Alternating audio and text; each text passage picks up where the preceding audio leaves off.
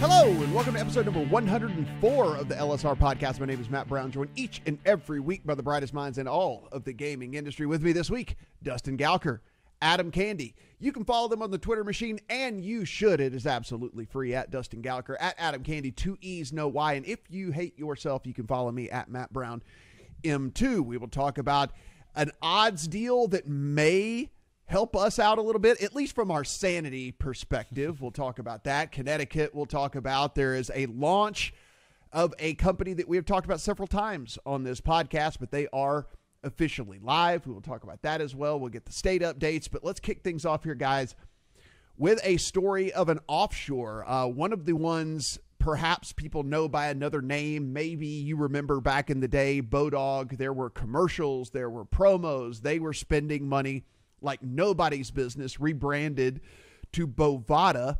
And Dustin, um, still serving the United States, but they are making a decision to not serve some of the people in the United States. Yeah, they just sent an email to customers saying they will no longer be taking betters from New York anymore.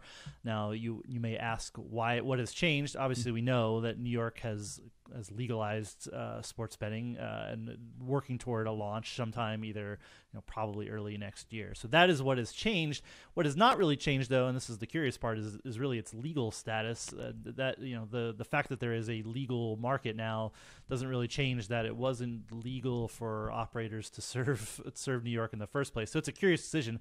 It's also uh, you know from the backstory this, they were out of New York. They came back in in 2018. Don't know what happened in 2018, but they've been you know in theory for the last several years been still serving New York for not just sports betting but for casino and poker as mm-hmm. well. So we have yeah, this is uh, I mean it's I guess it's I mean it's sort of good news that you know that operators are are taking taking the temperature and saying okay, some they've legalized here uh, we're we're a little worried about this. You know, we have even a some uh, some background here that somebody familiar with the decision seems to think that this is because they're, f- they're fearful of, of prosecutors in New York. Uh, you know, the, the Fed federal prosecutors famously were behind uh, the online poker crackdown back in 2011. So interesting development. Not sure if I mean uh, not sure everybody's going to be doing this, but there are you know there are a lot of mm-hmm. eyes on New York as it opens up for online sports betting. We'll see if uh, you know Bovada's or any other bookmakers get a little little bit cold feet as uh, regulated gambling rolls out across the U.S. Dustin, you and I are are kind of old school in all of this, and you know, to Bodog's credit, they did at least give uh, some people some ideas as far as the cross sell thing because they were really the first company that was using poker to drive people to sports and using sports to drive people to poker. And, you know, during the poker boom, yeah, there was poker stars and party poker and, and there was full tilt and all that, but none of those had another entity, right? Like they were all just, they were just all what they were.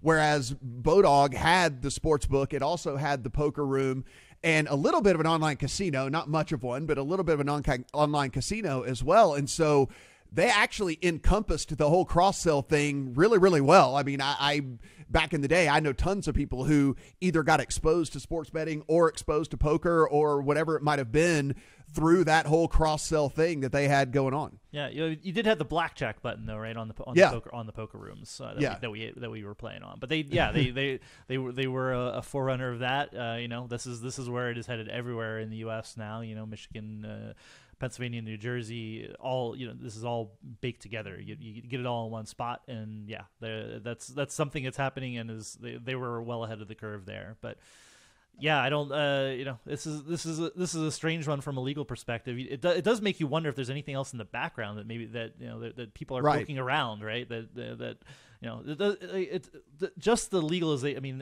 it's just now. I mean, this this passed a while ago now. Like we're say, we're saying now stopping June 21st. It's it's all a little bit of weird timing to me, but Adam, um, you did not come from a poker background, but how how big was the the Bodog brand to even like somebody like you who was you were into sports, you were not necessarily into poker, you weren't necessarily into sports betting way way back in the day, but uh, how how how out in front was it? it are, are Dustin and I just in the bubble, or was it as as popular or, or, at least as recognizable as we think? Yeah, I think the brand recognition is really what we're talking about here, right? Like Bodog was something I was very familiar with uh, yeah. back in the day, and so you know now we talk about Bovada and what's going on here with uh, the new iteration of it, and to take Dustin's point and go one step farther, if you were to say, okay, was there some threat of prosecution now? Did you look at the law passed in New York and say, we don't want anything to do with this? That's all well and good, unless you also use the 2018 example and say, if you were an offshore and sports betting became legal at the federal level in, or at least uh, states became able to legalize it from the federal level in 2018, then you probably would have said, well, do we fear federal prosecution, right, for, uh, at that time? Mm-hmm. Not necessarily now. And you know, we do also have I don't know if it's a cautionary tale, but the parallel of Five Dimes and Five Dimes, you know, saying essentially we're going to stop serving the market, and then being tied to a forty-six million dollar settlement over charges of wire fraud and money laundering. So we might potentially be at step one, or this just could be Bovada answering some behind the scenes messaging that maybe mm-hmm. it would be a good time to quiet down. Yeah, it does make you wonder just a little bit as to what this means for some of these other books out there and stuff because I mean we're we're still in the grand scheme of things, we're still in the, the infancy of, of legalized sports betting in the United States. And a lot of these states, as we've talked about on this podcast ad nauseum, is uh, didn't really, you know, know much about all this before we got going here. And now that as this continues to mature, as this continues to become bigger within the states, um, curious as to what you guys think as to could we see other states who go, well, you know what? If we're going to go ahead and if we've already taken the leap here, we've already legalized sports betting. We're trying to make revenue off of this thing that we have, you know, passed and that we have going here because we tell people we're going to be able to make tax dollars off of it, create jobs, et cetera, et cetera, et cetera. Do we think that there's a chance that any of these other states start going, you know what? Let let's let's take a look at these offshore books. Let's get let's get rid of these guys. I mean, I I, I know that I'm I'm totally asking you guys to speculate here, but I mean, I don't think it's a an incredible leap, right? Because we, we will at some point they'll they'll feel pretty comfortable where they sit in the market. They there won't be too many more things to tweak and regulate. And when you start to talk about optimizing and or growing your market, I mean, one of the ways would be shutting shutting them down, right?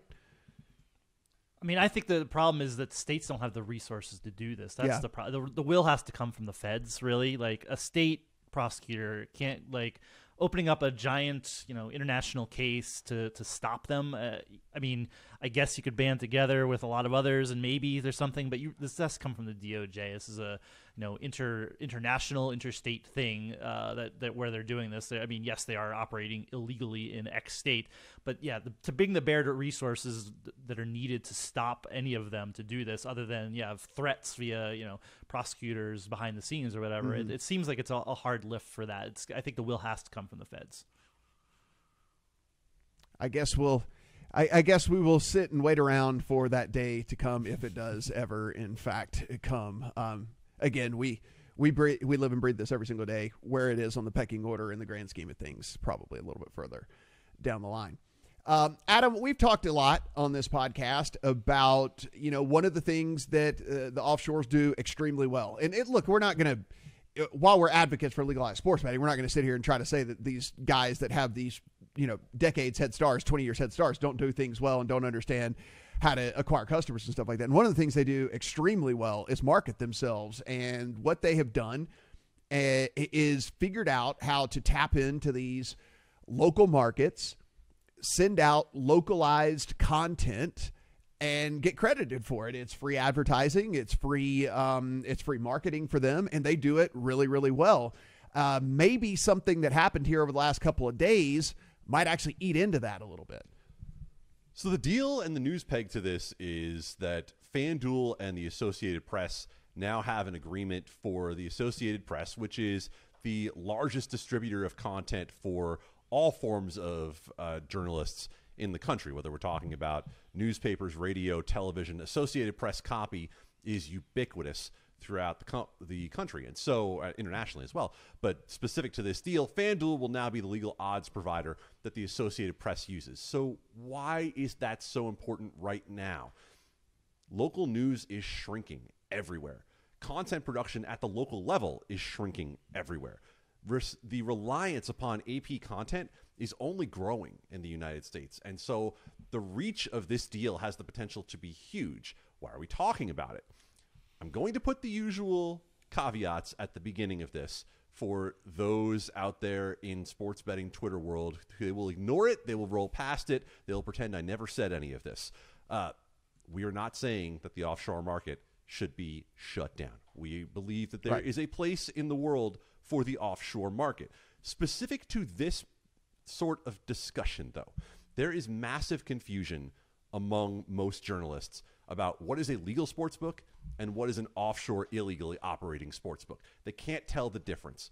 When an offshore has .lv at the end of their website, the average person thinks, well, .lv, they're based out of Vegas. Obviously, those of us inside the bubble know that is not the case. And beyond that, regulators in Nevada and elsewhere go to pains to make sure they are only offering markets on verifiable outcomes, right? They try to keep it to things that are very black and white, things where inside information can really not swing the outcome to the point where someone could manipulate the market in any significant way. Well, look at what a lot of these press releases that go out are about. It's about who will be the next host of Jeopardy, who will be so and so's next boyfriend. These are things that would never hmm. appear in the regulated market, but yet they get huge headlines among media. Yeah, I mean, we're we're sitting here trying to, you know, there are little things that can be done. Where, like you said, we're not trying to get things shut down. We're not trying to. However, you know, free advertising. Eh, you know, these these the the DraftKings, the FanDuel's, the Points Bets, the BetMGM's, and stuff of the world. They're paying massive licensing fees to be able to operate within these states. They are paying a ton of money to try to acquire customers and all of that. And so you know, when these sites, I mean, there are a couple of them who are really, really good at it, who will cater content down to a city and send it to all of that city's beat writers. And Dustin, within minutes, we see it popping up all over our Twitter feeds and stuff like that. They make it very easy. They make it very simple for for these guys to basically just go in and, and use that stuff. And so there's at least a sliver of hope here that maybe some of that marketing, some of that the the low hanging fruit for these guys will at least be taken care of by this deal with the AP. Yeah, I mean that's the hope. Um, wh- where I always start with this, and I, I think Adam can attest to it too, is th- there's no comp for using offshore sports books in the tradition in traditional print me- uh, online media.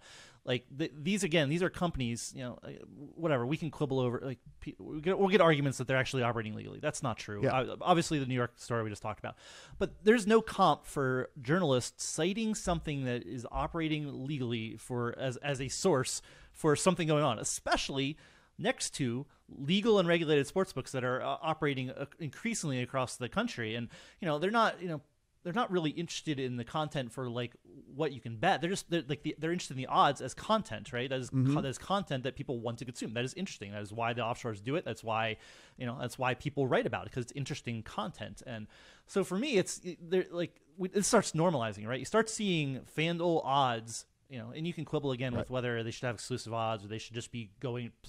They should have a deal, whatever. It's uh, I think Exactly. That's, That's that's a, that's a tangent. That's tangent to what the main point is. who Yeah. cares? It what the, Yeah. the, the point is. This starts normalizing regulated sports betting in the United States. You start seeing FanDuel as a as the as the the source for AP content. Other people start doing this, and I hope. I mean, I, I bang this drum. I see it, and I, I sometimes I call it out, or I, I suggest, hey, you're you're in a state where that has the legal odds. He, I know somebody sent you this to you, but here is Mm-hmm. here are the sports books in your state that are offering these odds, and you can you could, you could find this information yourself whenever you want Right. to, and and also then you know point people to something that is legally operating in your jurisdiction. So this this, this is a this has been a really frustrating thing for me, and it's it is like Adam said, totally about it's about education. It's about you know again we I, I don't still don't know what the percentage of people who just think you know Supreme Court ruling sports betting is legal everywhere. Uh, you don't care what operator it is. You see sports betting, that's legal now. That's what that's what a lot of people still think. And Yeah. this this starts us down the path. I I I'm, I applaud this deal from that perspective that we're we're starting to get to a point where this is not normalized in media, just citing you know sports books that are not operating legally in the United And- States. And Adam, I don't also don't want to. Um, I also don't want people to take the the wrong thing away from this either. We're not calling these journalists lazy. I don't know if a lot of these guys know any better. You know what I'm saying? And so like eh, eh, the the educational process here, like at, like uh, Dustin saying, kind of like the normalization of it being one of the books that is legal and regulated within the various states and stuff. I mean, I saw just a couple of days ago, right? Literally two days ago, per I forget which which which book it was, you know, whatever, but it was it was one of the offshores.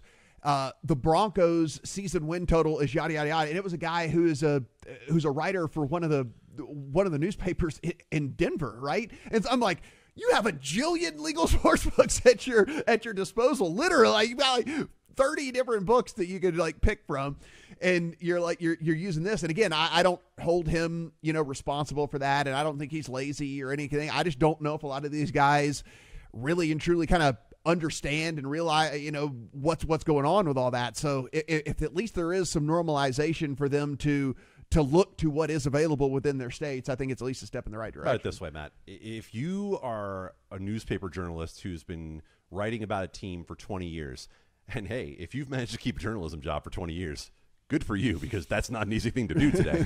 uh, but if you've been getting releases from these companies over the last decade, over the last two decades, if they've been sending you mm-hmm. content mm-hmm. forever, why would you think it's any different pre 2018 and post 2018? It's the same sports book mm-hmm. that's been sending you something forever, right? It could be the same name, real or imagined, on that on that release that's coming in, and you know know the difference.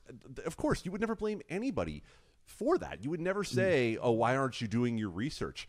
No, uh, the confusion was created a long time ago. It wasn't intended to be confusion with the legal market until more recently, right? I mean, there was no confusion with the legal market for a long time, unless you're trying to confuse things with with right. Las Vegas. And so, no, uh, there's no blame being cast here just hopefully the education process does continue and you know we'll we'll beat the drum we'll do the best we can and uh, hopefully this deal helps out a little bit. before we move on we really have to yeah. thank adam for working sports betting twitter into just a, a, complete lather over this topic too. That was that was great to see oh no I, I, I would never. No i i would never. Nope.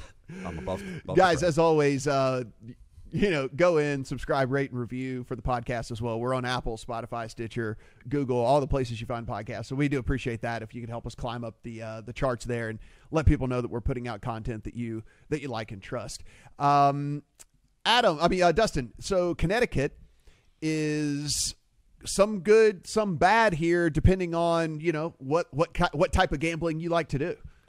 Yeah, uh, I mean, I'd say overwhelmingly pretty good news in Connecticut. Basically, legislative approval for sports betting and online casino in the state via the tribes and the lottery. Uh, we're waiting for. We just need the the signature of the governor, which I don't think has happened yet. Adam, no, not quite yet. If I'm wrong and we're and we're and we need just and like because it involves tribal compacts, we need the federal approval from the Department of Interior, who oversees all the compacts. So uh, no reason to think that's not going to be given either. So we're basically done in Connecticut. Not official-ish, I think, is the term we've uh, we've given it in Connecticut. That this is official-ish, official oh man, official ishy done. uh, uh, but you're going to have sports betting. You're going to have online casino, maybe poker. Poker is included along online casino.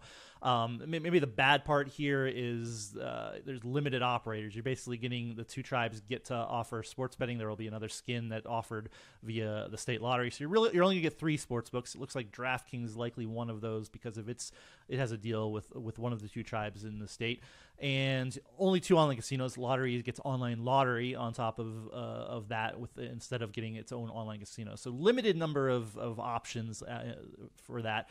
There's also this problem with fantasy sports that uh, basically uh, the the agreement puts fantasy paid entry fantasy sports kind of on ice as part of all this. Not great for DraftKings, FanDuel, anybody taking paid entry, even uh, you know even season long. I think fantasy where you're paying entry fees uh, at a site uh, is going to have to to be shut down in Connecticut for a while. So not ideal, not what was intended. I mean, it, we, I think we all remember. We, well, we may all remember they actually hmm. tried to negotiate this with the tribes uh, a few years ago. They actually yeah. they, they said, "Oh, we need to nego- This is fine, except we have to negotiate it with the tribes." That never really happened. This is what this was the outcome, and and now we're you know uh, kind of back to the point where DFS is is kind of on ice. There's ways forward for it, but like right now, immediate future, it looks like it's going to have to have to stop in, in Connecticut for the for the short term, which uh, has, has attracted the ire of, of the likes of Matthew Berry and, and some others in the industry who uh, are saying or are upset that you know DFS paid entry yeah. fantasy sports are, are shut down here in uh, in Connecticut once all this becomes official. Yeah, it is interesting how one thing can affect another, which can affect another, which can affect another, and we kind of see that how you know if you don't have these all encompassing type things and and and wrap everything all into one that uh, we can certainly have something like this end up occurring. I imagine they'll find a way to uh, to get things back rolling there, but as you mentioned, it looks like it'll be shut down at least for a little while. Adam, one of the companies uh, on a spending spree throughout the uh, course of the pandemic. We talked about multiple different acquisitions that were made. We talk about uh, multiple different deals that were made with them, uh, most notably the regional sports networks that Sinclair took over from the Fox Sports uh, Fox Sports regionals uh, that Sinclair now has rebranded full on to Bally Sports at this point. But the one thing that was missing was uh was actually Bally Sports, and uh, but finally we do have a, a look at what's uh, what's going to be under the hood there. Starting to think this was like Vandelay import export, like there wasn't really going to be anything behind it in the end. No, uh, if you've watched a Major League Baseball game, an NBA game, an NHL game over the last couple of months on a regional sports network, you have seen Bally advertise because they took over all of those and rebranded them. And I would say the best thing we can say about awareness is that our writer uh, Pat Evans at Legal Sports Report was texting with a friend of his in Michigan, and the friend asked him, "quote What is a bally?"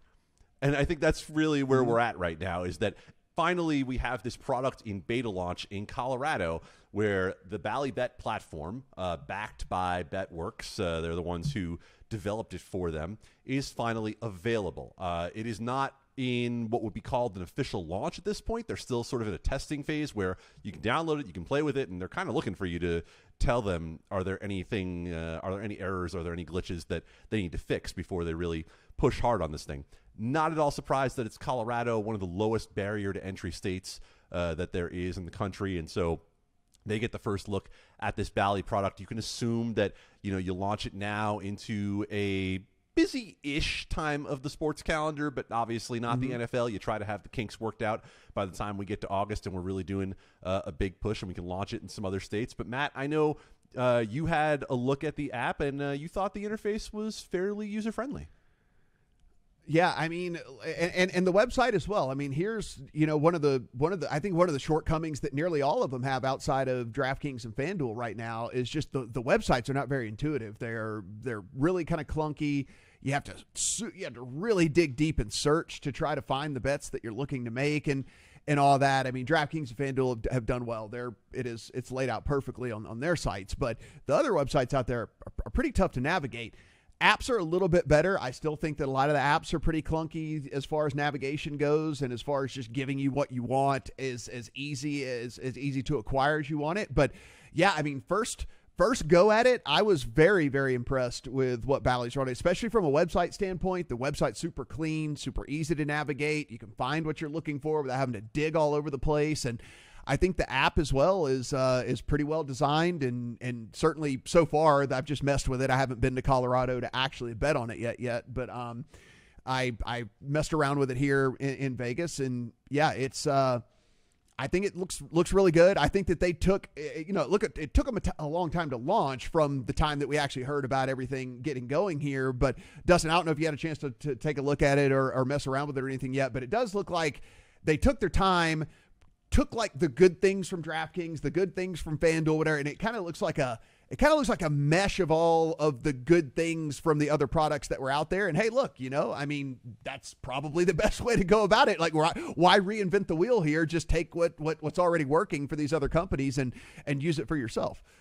Yeah, I, lo- I downloaded, it, took a look around. Yeah, obviously, I'm not betting on it either, but it, it looks good. It's easy to navigate. That's really what you want. You just don't want to you don't want to throw your phone against the wall, right? That's the that's my, Right. my like uh, I I do want to do that with my with my Oregon lottery app here, and and uh, I often want to throw it against the wall. But so yeah, uh, if that, if if not throwing against the wall is your is your your low bar, it's that, and it's you know it looks much better than again not without actually placing bets. It's hard, but um yeah, you know I kn- know the team over there. This is a company that has leveraged a lot of resources to do this. Uh, you know, built you know owns Yeah. its own tech stack now to do this. So you know, this is if it wasn't a great it wasn't a great user experience, you think you'd be thinking twice. But you know, it- it's it's interesting to see. This is you know again all this company is all in on all of this stuff, and uh, it's it'll be interesting to see what they do as they they roll out in more and more states.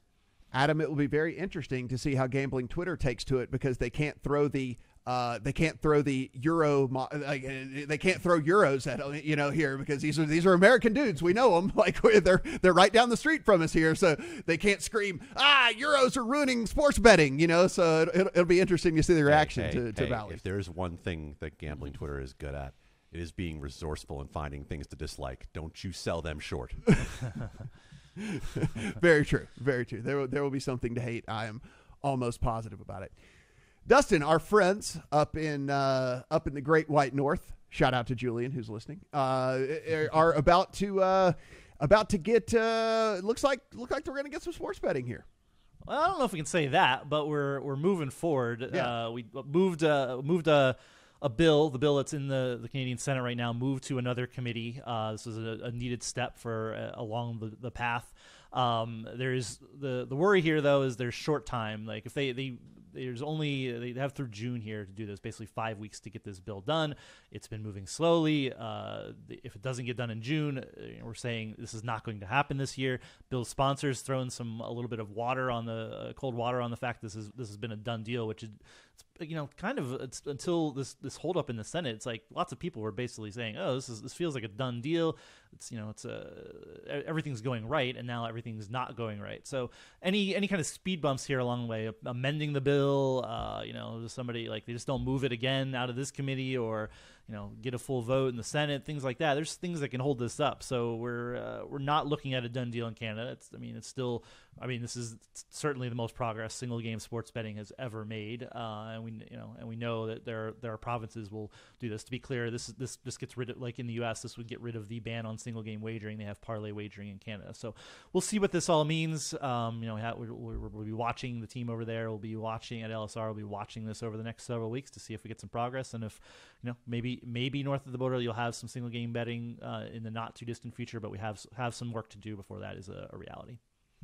And and Adam, I actually think that this market is, uh, despite the size, which I think people you know think of a whole country, and it's the you know it is population wise the size of California, less than the size of California, but um, you know I think it's actually going to be a really great market in general. Uh, you know, one they're not completely unfamiliar, as Dustin mentioned. Parts of Canada have already had at least parlay betting, so it's not a completely new step into what is sports betting and how to do go about all this and you know the the gray area market up there has certainly thrived. I know a lot of people that use a lot of the sites that we've we've talked about here on on the the pod a ton of different times, and then it's also you know a, a big poker hotbed up there as well. Tons of Canadian guys are, are super big into poker and, and play a ton of poker and all of that, and um, you know they like American sports. Super definitely love the NBA up there in uh, in Canada as well. So I think that you know once this gets rocking and rolling, that these numbers could be uh, c- could be pretty impressive. We've uh, we've seen a number of different estimates on the total market in Canada. I would suggest going to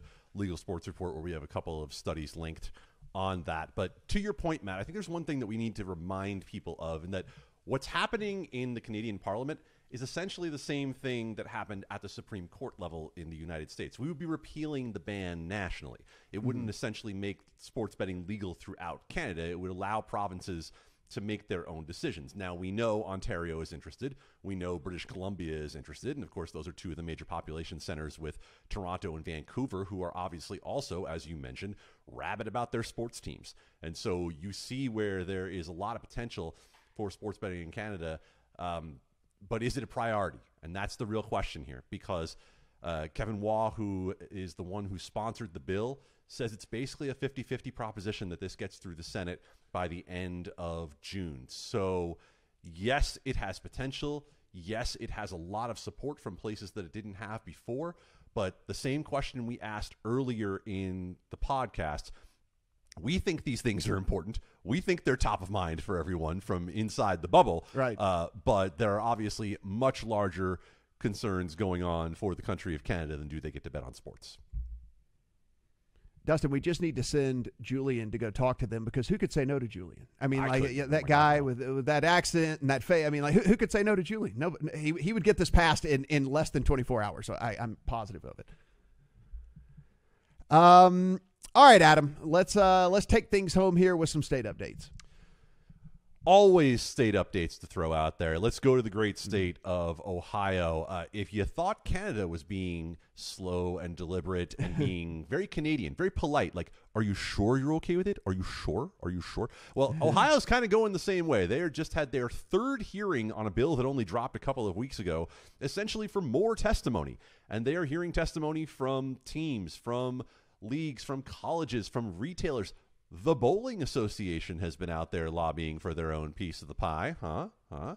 Bowling alleys and sports betting. So Ohio had another hearing, no action. They really want to get something moved by the end of June as well. So hey, another similarity with Canada.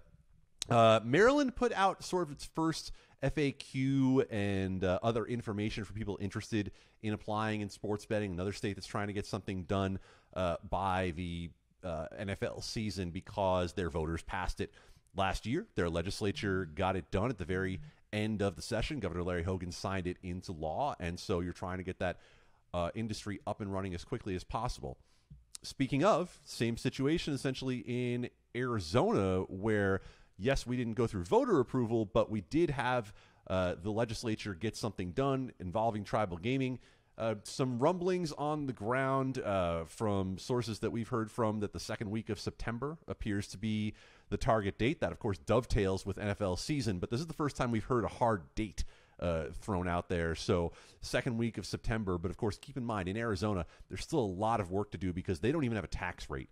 Uh, quite yet, and you can expect there to be some intense lobbying of the Arizona Gaming Department uh, for what ultimately gets set as the tax rate on sports betting in Arizona.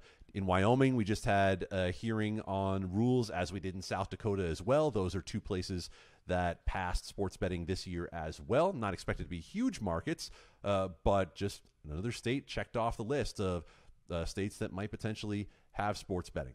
Nothing to update you on from Florida. If you're out there saying what's the latest uh, from the Sunshine State, same place we left it. Uh, the compact, of course, will have to be uh, signed by DeSantis and sent up to the Federal Department of Interior. And then we've already had promises of legal challenges coming down on that one as well.